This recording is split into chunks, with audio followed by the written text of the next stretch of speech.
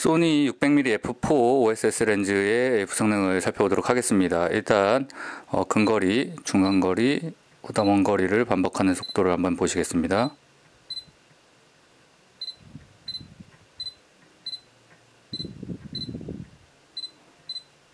네, 워블링 상태 한번 보시겠습니다.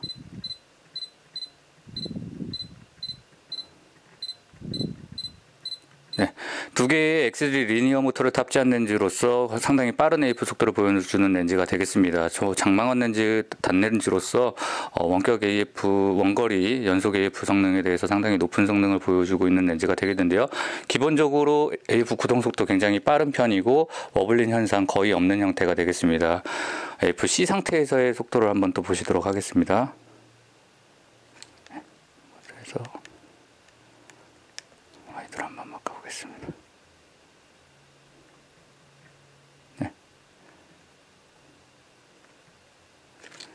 F에 대한 새로운 초점 능력, 추적 능력도 상당히 좋은 편이고요. 한번 사용해보겠습니다. 네, 따라왔을 때의 능력도 상당히 뛰어났습니다. FS로 다시 넘어가서 제가 샤트샷 딜레이를 한번 다시 한번 보여드리도록 하겠습니다.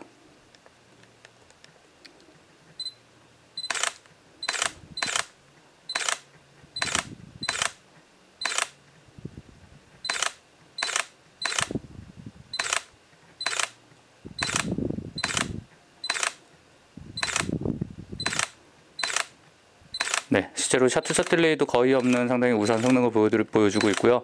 어, 촬영 공간의 제약상 초망원 렌즈이기 때문에 원거리 AF-C 상태를 제가 제대로 보여드리지는 못하고 있습니다만 어, AF-C 성능도 상당히 뛰어난 렌즈로 AF 성능에 있어서만큼은 거의 최고의 렌즈가 되겠고 600mm라는 초망원 영역에서의 어, 특성을 고려했을 때 뭐 스포츠 촬영이라든가 조류 촬영 같은 데에서도 스트레스 없는 굉장히 뛰어난 성능을 이용할 수 있는 그런 렌즈가 되겠습니다.